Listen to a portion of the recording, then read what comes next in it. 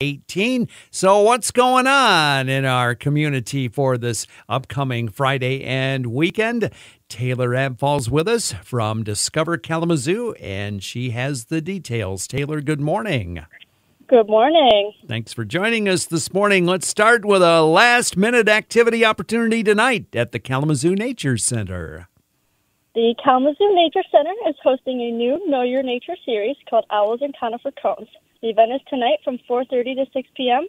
Join the Nature Center staff and Rufus, the eastern screech owl, while you build bird feeders and owl figurines out of pine cones. You can check out registration and pricing at naturecenter.org. Join in for a crafty, fun-filled learning experience about pine cone identification and the importance of conifers in our local ecosystem. Well, let's go into the weekend now, and a Good Night Tyler opening at the Jolliffe Theater. Face Off Theater Company presents Goodnight Tyler, a play by B.J. Tyndall, directed by Marissa Harrington. Goodnight Tyler is a satirical, romantic ghost story that you didn't know you needed right now.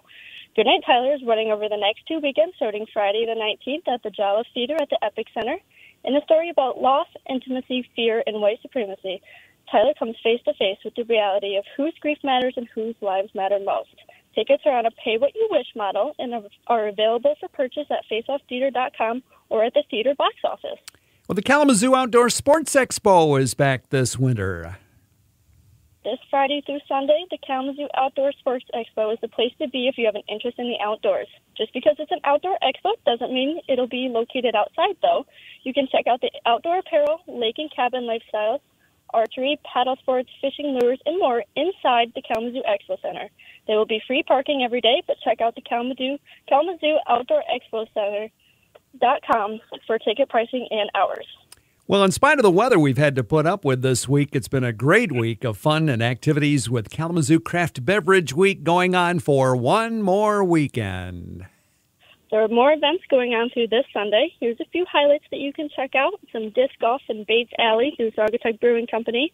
Wax Wings has trivia and live music. Cider collaboration releases from Lawton Ridge Winery. And a frozen mini golf tournament is being hosted by Presidential Brewing Company. Keep looking out for the limited edition Kalamazoo Craft Beverage Week stickers that were created by a local artist. You can find them at participating locations. And be sure to check out the Kalamazoo Craft Beverage Week passport and earn your way towards those prize packages.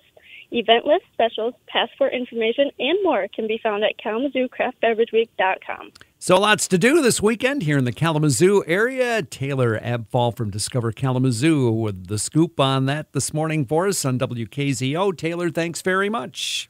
Thank you.